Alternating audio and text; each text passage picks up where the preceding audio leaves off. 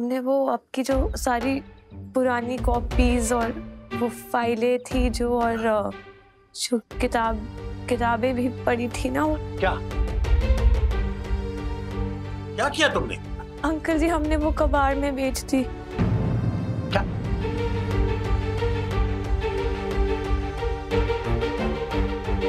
Sorry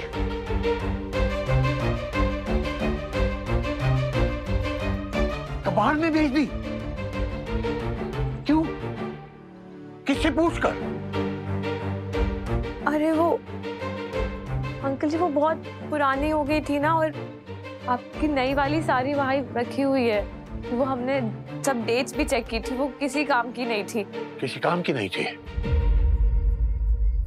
तुम्हें कैसे पता कि वो किसी काम की नहीं थी? हमारे काम की थी बहुत काम की थी और तुमने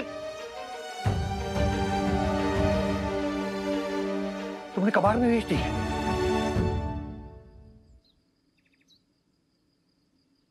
तुम तुम हमारे कमरे में आई कैसे? किसने कहा ये सब करने को? तुम तुम हमारे कमरे में आई कैसे? किस हक से आई? किससे पूछ कर आई? तीन तीन दिन हुए हैं तुम मेहमान बन के ही घर में आई हो और तुम डिसाइड करोगी कि क्या हमारे काम का है और क्या काम का नहीं है। शांत हो जाइए पंडित जी। अरे शांत कैसे हो जाए? तुम्हें पता है उसने क्या किया? हाँ। हमारे काम की थी। बहुत काम की थी बेशकीमती थी। इंपॉर्टेंट थी। और तुमने लड़की समझ रही हो तुमने क्या किया? अब हम क्या करें? कहाँ जाएँ? कहाँ से लाएँ वो सब?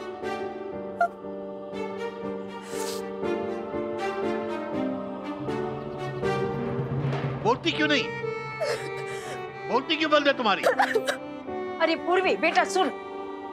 देखो पंडित जी आपने रुला दिया बच्चे को। चिल्लाने की क्या ज़रूरत थी? अब हम, हम मानते हैं गलती की है लेकिन जरा सी बात तुम्हारे लिए वो जरा सी बात थी। तुम्हें पता है ना उसने क्या किया? उसने वो फाइलें नहीं उसने दीपा और आलोक की कॉपियाँ नहीं, उसने उसने वो यादें यादें कबाड़ में बेच दी। यादें।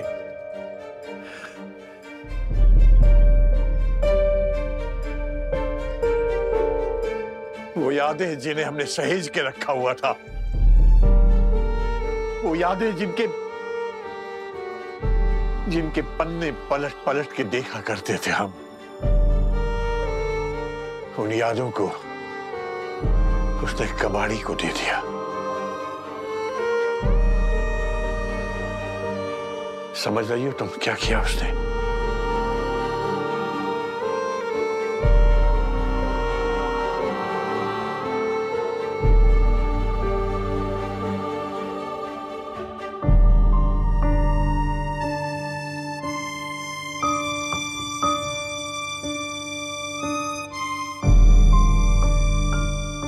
पूरा एपिसोड देखने के लिए सोनी लिव ऐप डाउनलोड करें।